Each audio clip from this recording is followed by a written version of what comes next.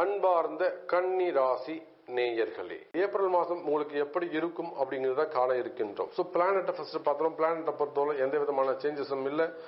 கன்னி ராசிக்கு ஒன்பதாம் இடத்தில் இருந்து வந்த செவ்வாய் பகவான் இப்போ பத்தாம் இட தொழில் ஸ்தானத்துக்கு வந்திருக்கிறார். பொதுவாக எட்டாம் அதிபதி பத்தாம் இடத்துக்கு வருவது என்று சொல்வது அவர் அவ்வளவு உகந்ததாக இல்லை. அதுவும் எட்டுக்குடையவன் பத்துக்கு தொழில் ஸ்தானத்துக்கு வருகின்ற பொழுது இந்த தொழில் ஸ்தானங்களில் தேவையில்லாத மறைமுகமான எதிரிகள் உருவாவதற்கான வாய்ப்புகள் உண்டு. ஸோ கன்னிராசினியர்களே நீங்க தொழில் செய்பவராக இருந்தாலும் சரிதான் வியாபாரம் செய்பவராக இருந்தாலும் சரிதான் அல்லது எந்த விதமான பிசினஸ் ஆக இருந்தாலும் சரிதான் வேலை ஒர்க் ஜாபா இருந்தாலும் சரிதான் இங்கே அப்ராட் பிசினஸ் ஆக இருந்தாலும் சரிதான். நீங்கள் உங்களை வருமானம் சார்ந்த விஷயங்களில் அதிக அக்கறையோடு நடந்து கொள்ள வேண்டும் கன்னிராசி நேயர்களே அதிரடியாக சில ஒரு சில மாற்றங்களை நீங்கள் சந்திக்க வேண்டியது இருக்கும். அந்த சந்தி அந்த சந்திக்கின்ற மாற்றங்கள் எல்லாம் உங்களுக்கு ஒரு சில ஒரு அதிர்ச்சிகளையும் அதே சமயத்தில் எதிர்பாராத விஷயங்களை உங்களுக்கு சொல்லிக் கொடுக்கக்கூடியதாகவும் இருக்கும். கன்னி ராசி நேயர்களே. ஸோ தொழில்துறை எப்படி இருக்கும்?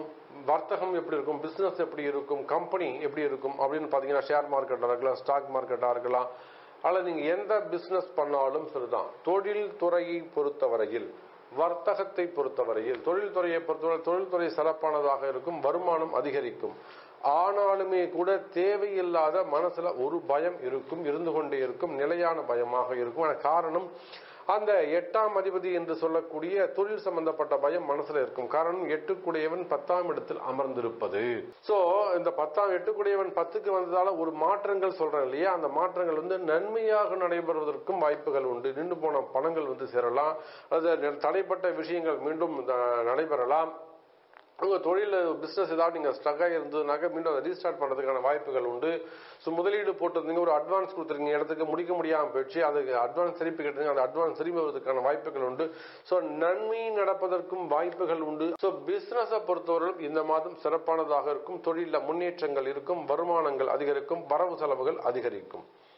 அதே போல பணம் கொடுக்கல் வாங்கல சிக்கல்கள் அதிகரிக்கும். ஸோ நீங்க பணம் கொடுக்கறதா இருந்தால் ஃபைனான்ஸ் தொழில் செய்யக்கூடியவர்களாக இருப்பீர்களே ஆனால் பணம் கொடுக்கல் வாங்கல் விஷயத்துல அதிக அக்கறை செலுத்திக் கொள்ளுங்கள். அது குறிப்பா அந்த வட்டி கலெக்ட் பண்றது அசல் கலெக்ட் பண்றது இந்த மாதிரி விஷயங்கள்ல வாக்குவாதங்கள் ஏற்படுவதற்கான வாய்ப்புகள் உண்டு. அது சமயத்துல வம்பு வழக்காக மாறுவதற்கும் வாய்ப்புகள் உண்டு. ஸோ எச்சரிக்கையாக நடந்து கொள்ளுங்கள் கன்னிராசி அன்பர்களே. அதுக்கு அடுத்தபடியா பாத்தீங்கன்னாக்கா வேலை வாய்ப்பு. வேலை வாய்ப்புகளை பொறுத்தவரையில் கன்னிராசி அன்பர்களே மிதமானதாகவே இருக்கும். கடந்த இரண்டு மூன்று மாதங்களாகவே வேலை வாய்ப்புகள் அதிரடி மாற்றங்கள் நிகழ்ந்திருக்கும். ஒரு சிலருக்கு வேலை பறிபோயிருக்கும் ஒரு சிலருக்கு வேலை மாற்றங்கள் ஏற்பட்டிருக்கும் இடமாற்றங்கள் ஏற்பட்டிருக்கும் சேஞ்சஸ் வந்திருக்கும். அல்லது வந்து அவங்க புஷ் பண்ற மாதிரி பிடிச்சி தள்ளுற மாதிரி ஒரு சூழ்நிலை ஏற்பட்டிருக்கும். அது எல்லாத்தையும் மீறி குடும்ப சூழ்நிலையை கருதி அங்கே தக்க வச்சுக்கிற மாதிரியான ஒரு மனப்பக்குவம் கன்னிராசி நேர்களுக்கு இருந்திருக்கும். ஸோ நீங்கள் தான் புத்திசாலிகள் கன்னிராசி நேர்களே வேலை வாய்ப்புகளை பொறுத்தவரையிலே தவற விடாதீர்கள் தவறு செய்தா செய்யாதீர்கள். ஸோ நீங்கள் எந்த வேலை செய்பவராக இருந்தாலும் சரிதான் வேலையை ஃபர்ஸ்ட் காப்பாற்றிக்கோங்க நிச்சயமாக அதை விட்டே கொடுக்காதீங்க அப்படின்னு தான் நான் உங்களை பொறுத்தவரையிலும் சொல்லுவேன். ஸோ செய்கிற வேலையை முதல்ல காப்பாற்றிக்கோங்க நீங்கள் இதை விட பெரிய வேலையாக தேடணும் பெரிய சேலரியாக தேடணும் அப்படிங்கிறத விட குறைவான சம்பளமாக இருந்தாலும் அது நிறைவான வாழ்க்கைக்கு வாழ்வதற்கு போதுமானதாக இருக்கும். அதில் செய்கிற வேலையை முதல்ல காப்பாற்றிக்கோங்க இடர்பாடுகள் இருக்குமே ஆனால் உங்களுடைய பர்த்து சார்ட்டை கொண்டு நீங்க செக் பண்ணிட்டு அதுக்கான அனலைஸ் பண்ணி அதுக்கான பரிகாரங்கள் செய்து கொள்வது சிறப்பை தரும். அதுக்கு அடுத்தபடியாக பாத்தீங்கன்னாக்கா வரவு செலவுகள் எப்படி இருக்கும்? வரவு செலவுகளை பொறுத்தவரையிலே கன்னிராசி என்பதை மிதமானதாக இருக்கும். செலவுகள் அதிகரிக்கும். வரவுகளை விட செலவுகள் அதிகரிக்கும். எப்பொழுதும் போலதான் சாமி இருக்கும் கேட்டால் நிச்சயமாக இல்லை. இந்த மாசத்தை பொறுத்தவரை ஏப்ரல் மாசத்தை பொறுத்த செலவுகள் கொஞ்சம் சற்று அதிகரிக்க வாய்ப்புகள் உண்டு.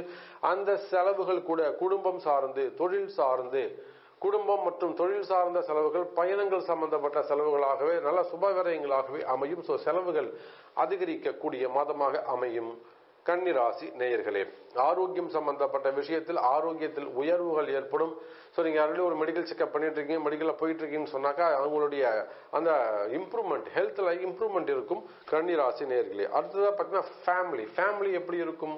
குடும்பத்துல ஒற்றுமை மேலோங்கும் பிரிந்த உறவுகள் மீண்டும் ஒன்று சேர்வதற்கான வாய்ப்புகள் உண்டு. நான்காம் இடம் என்று சொல்லக்கூடிய தனுசு ராசி அந்த நாளுக்குடையவன் இப்போ உங்க ராசிக்கு ஆறாம் இடத்துக்கு பயணம் செய்ய இருக்கின்ற அதிசாரம் கொஞ்சம் பெறுவதற்கான வாய்ப்புகள் உள்ளது. அப்படி பார்க்கின்ற பொழுது குடும்ப உறவுகள் மேம்படும் என்பதை சொல்லிக்கொண்டு மீண்டும் அற்புதமான வேறொரு பதிவில் உங்களை சந்திக்கிறேன்.